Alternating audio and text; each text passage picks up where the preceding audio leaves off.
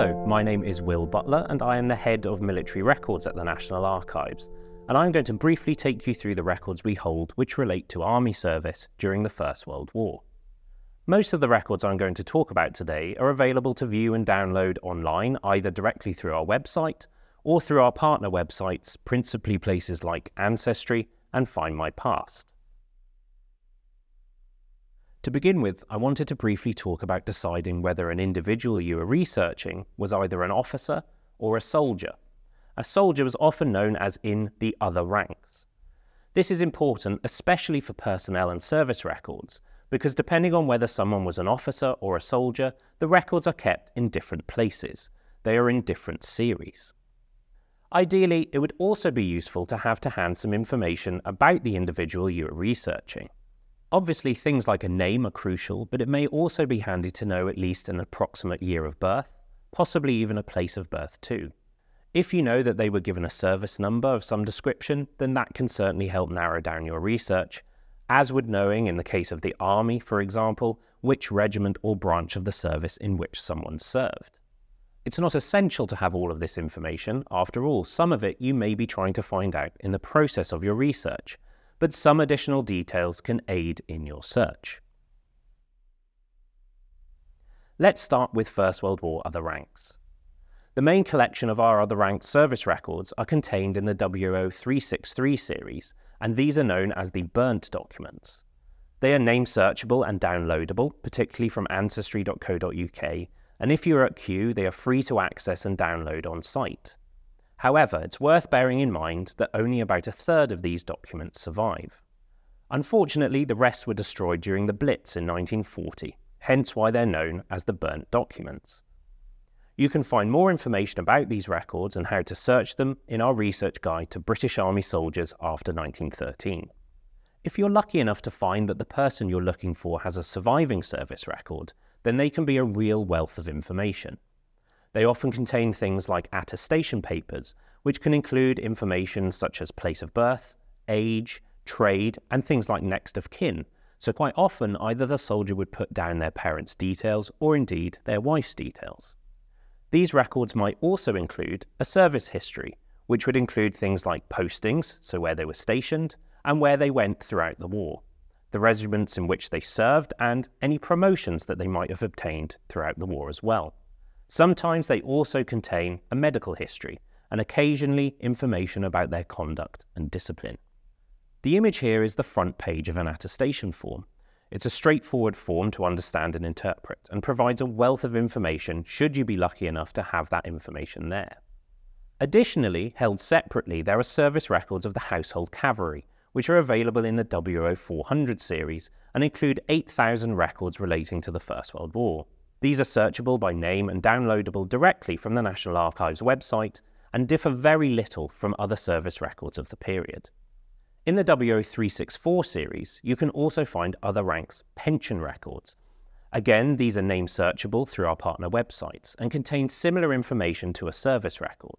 The main difference being that the pension records should provide information relating to a cause of discharge, so also a reason for a pension. This example states that the individual was wounded in the left arm.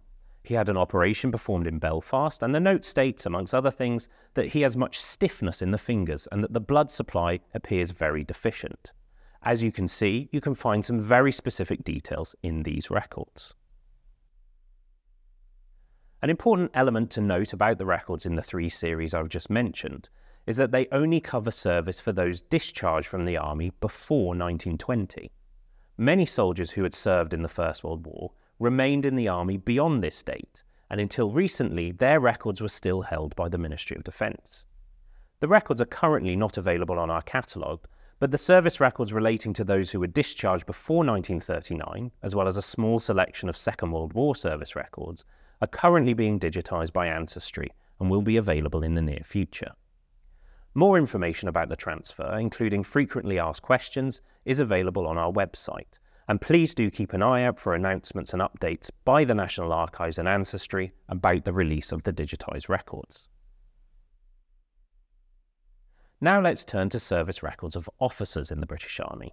These are some of the most popular records in our collection and unfortunately have not been digitised and so are not available online. They are, however, searchable by name on our catalogue and their size can range from a few pages to a few volumes, partly depending on the amount of correspondence generated during and after their service. The largest collection can be found in the WO339 series, but some records can also be found in WO374 and WO138. As you can see here, the records contain personal information about an individual. This particular record is for the author and playwright J.B. Priestley and includes various other forms and correspondence. As he was commissioned as an officer from the ranks, the record also includes his original attestation form, similar to those found in WO363. And this final example from an officer's point of view is taken from the WO138 series, which is essentially a series of notable military personnel. Principally, this includes high ranking officers, but also famous individuals too. This example is that of the poet Wilfred Owen, and what's particularly interesting here, and especially relating to his military experiences, is that it includes the proceedings of his medical board from 1917. For both officers and other ranks, there are other records you might explore, especially if you've been unable to locate a service record for the person you are researching. In particular, the National Archives holds the British Army Medal Index cards for the First World War period. These can be found in the WO372 series and are available to download from the National Archives website. They are searchable by name, regimental number, corps, and or rank. You can utilize a mixture of these search terms to try and narrow down who you are looking for. This is particularly useful if you are searching for someone with a common name. These records are not as detailed as a service record, but can provide additional information if the service record has not survived. For example, they will often contain the first theatre of war in which someone served and when they entered that theatre. Quite often, if this is blank, it means that the individual went to France in 1916 or later. The original medal issue and medal receipt may also be noted. However, most of the cards record medal entitlement rather than the awarding of medals. If you want to check whether a person received a medal, you can consult the medal rolls in WO329, which should be annotated with pencil ticks if they actually received their medals. The index cards do also come in slightly different formats and often use codes which can be difficult to understand. We have a research guide specifically relating to these cards, which contains information about how to interpret some of this information. It also includes details about the medals issued during the First World War and why certain medals were awarded, so you can start to get to grips with what is written on these index cards. And as I say, they can provide some useful additional information for you to carry out your research, particularly if a service record doesn't survive for the person that you're looking for. The National Archives also holds many thousands of operational records relating to the planning and conduct of battles and campaigns. When researching individuals or specific units, it's also possible to find information in these operational records. Principally, we hold a large collection of unit war diaries for the First World War. The completion of these diaries was a requirement for individual units at regiment, brigade, division, and corps level and can provide detailed insights into battles and campaigns and the day to day movements and running of a unit. The majority of these diaries can be found in the WO95 series, and those which relate to operations on the Western Front are available from our website. Those which relate to other theatres of war are either available to view in our reading rooms or have been digitised by Ancestry. It is possible to search the catalogue using the name of the unit as the search term. They are listed in the catalogue by the unit, along with a short description summarising the theatre of operation and the section of the British Army command structure within which the unit existed, and this was usually a division.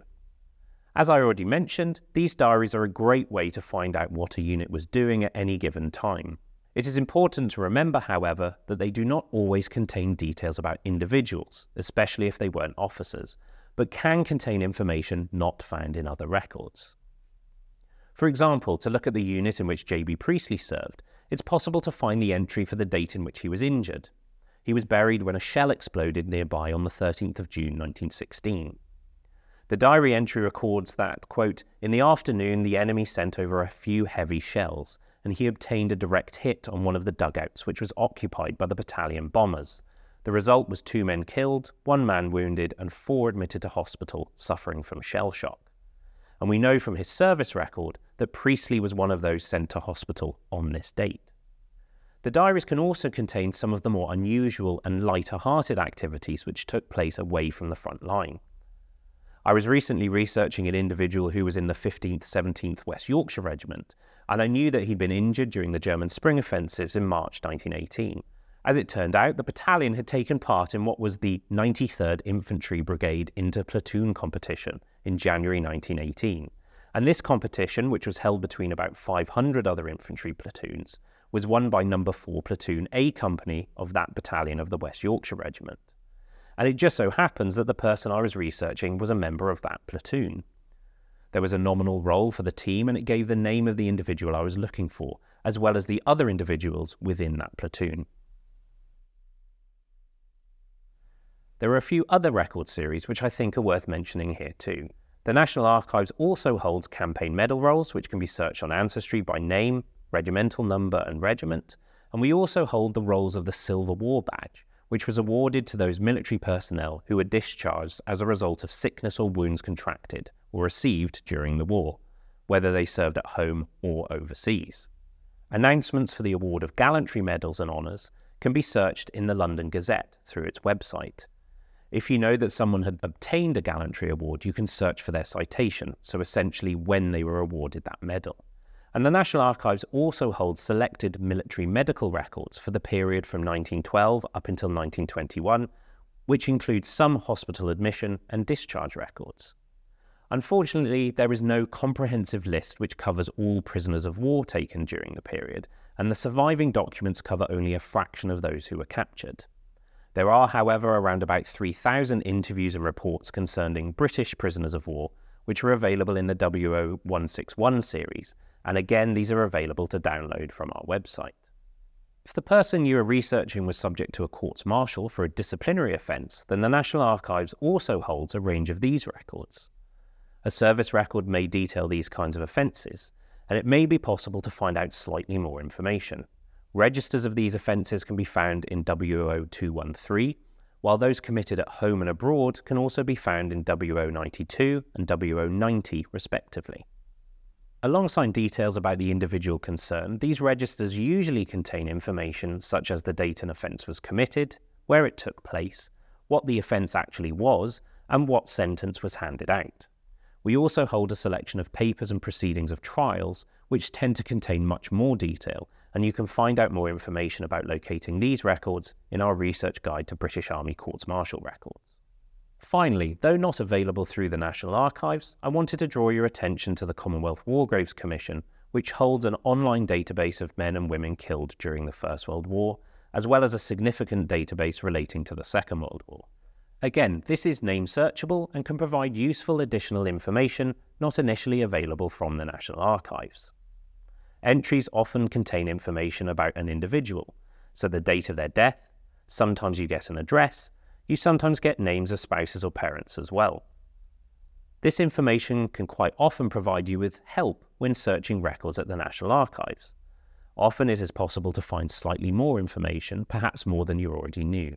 This means that you can then use that information to further enhance your searches of our collections and the Commonwealth War Graves Commission have also digitised several documents which are available to download as well, particularly about grave registration and the concentration of graves, which you may also find useful. These records also often contain things like the addresses for next of kin, and again, you can use all of that information to help you search our records as well. That concludes this brief summary of First World War Army records. Hopefully, I've been able to provide you with some guidance to help in your research of this topic. There are, of course, many other records which may be of interest, which I haven't covered here. To find out more, do remember that we have an array of research guides available on our website, which go through some of those additional records, while also providing information about how to search for the records we have spoken about today. Thank you, and good luck with your research.